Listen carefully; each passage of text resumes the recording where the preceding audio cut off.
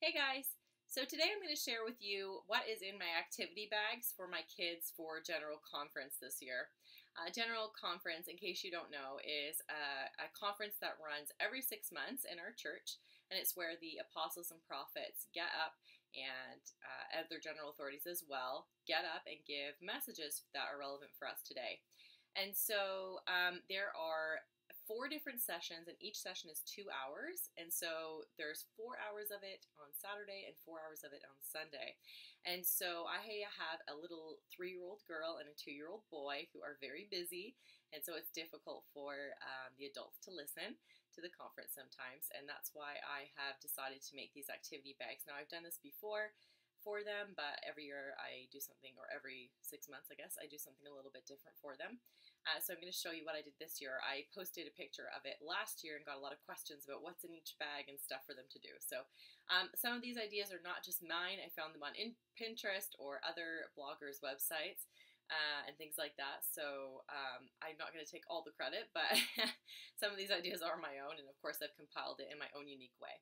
So how it works is each session has six talks, so there will be 12 bags per day, so there'll be 24 bags in total. So all I've done is just got these bags from the dollar store. They come in packs of two for a dollar, I'm pretty sure. Um, it was Dollarama.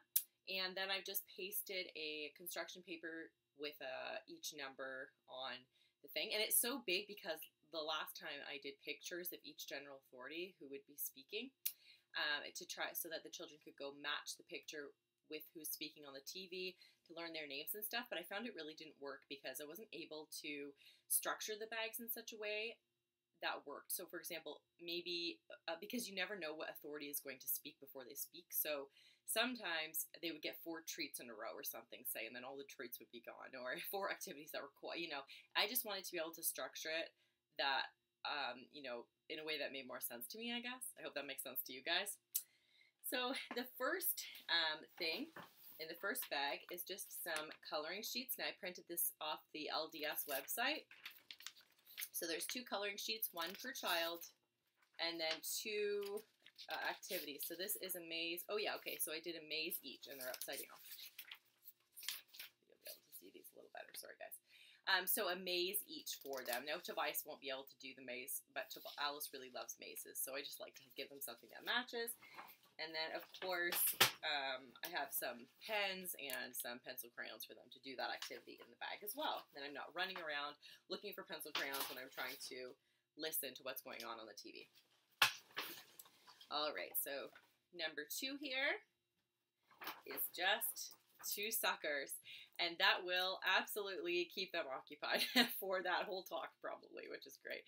So I've got one sugar cookie and one cotton candy, and I just got these from the dollar store as well, two for a dollar.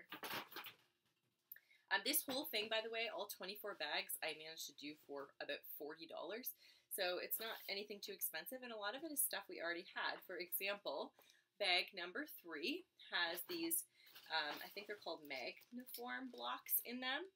But um, to make it a little more fun, I printed off a few different uh, things that aren't in the book um, that we could make with them. So this is like a little Ferris wheel, a little different kind of house, just to make it a little more interesting for them. So that's bag number three. Bag number four is just some Doritos. So I just got a little bag each. They'll love having their own bag. We never eat little bags of chips like this, so they'll think that's really great. So they were a dollar each. Number five is they each have their own activity book. So these are just like Velcro activity books. I'll show you guys inside one just in case you want to see. Um, but my mother-in-law made these. She's very crafty and wonderful. So obviously we're missing the O there. It's in the bag somewhere. So it just has little activities. This is make a monster and um, make a uh, make the uh, armor of God. And so the pieces are just in the book here. So I guess it's not really exciting for you to see without all the pieces. But there's some cars. You can design a car. Um, match the names of the Bible pictures, count the Paw Patrol pups, etc. And so Alice has one of those as well. And so they're just like quiet time books that we bring to church. All right, number six is I was going to buy that kinetic sand from Walmart, but it's so expensive and you don't get very much. So I found online a recipe to make moon sand. And so it's just like this in the bag and it's, you know, when you squeeze it, it, um, it like it stays formed, I guess is the best way to describe it. And it's just six cups of flour and one cup of oil. So, um, yeah, so that's really handy.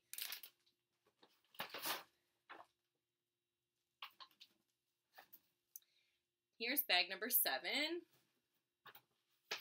This this is just uh, some puzzles. So I've got two puzzles each for them. Oh, I forgot, I forgot to tell you. In the moon sand one, um, I've got these little funnels for them to make, you know, castle tops or temple tops or whatever. And then uh, just some cups for them to play with the moon sand. Number eight is these, uh, just a little two bags of goldfish crackers. I bought one like package and I sorted it into four different ones because they'll also get that for Sunday and a juice box as well for each of them right, number nine is I bought these Easter eggs at the dollar store and they can color them with some crayons in the bag as well. They can color them while they watch that talk.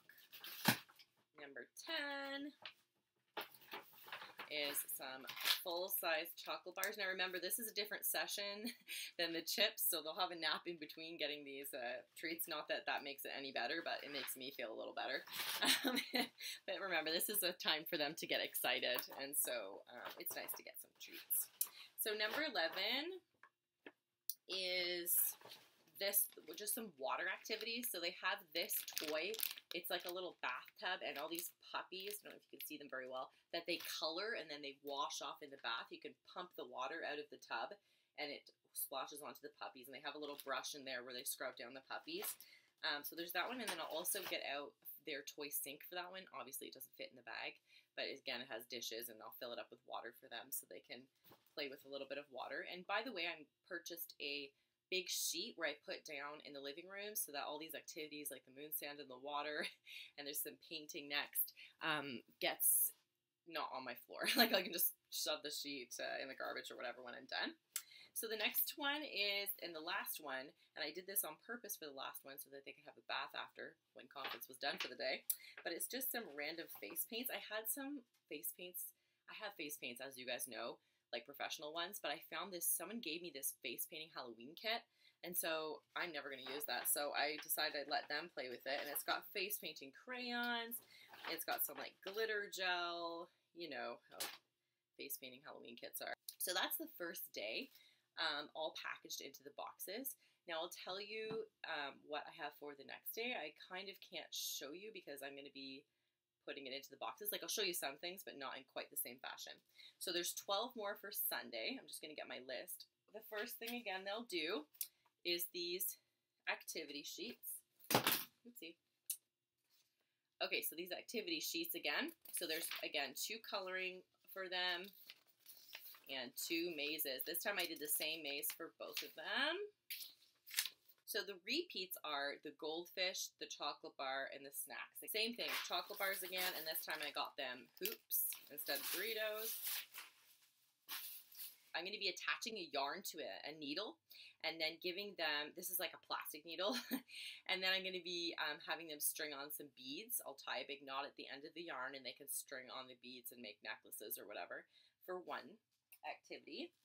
And then I've got these coffee what do you call these?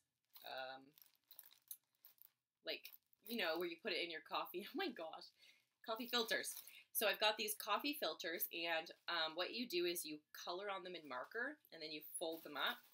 Fold it in half, and then half again, and then half again, and then you dip this part in water, and the water goes all the way up the coffee filter, and you can see it, the marker sort of blurring as it goes up, and then you let them dry, and they're these cool like little tie dye coffee filter things where you can glue them on or whatever. I think they'll think that's pretty neat.